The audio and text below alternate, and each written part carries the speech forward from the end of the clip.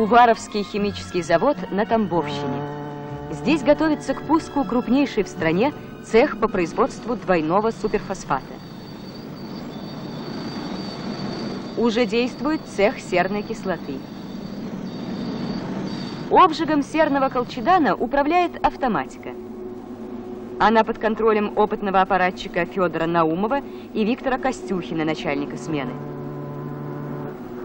Весь процесс газоочистки тоже ведут автоматы.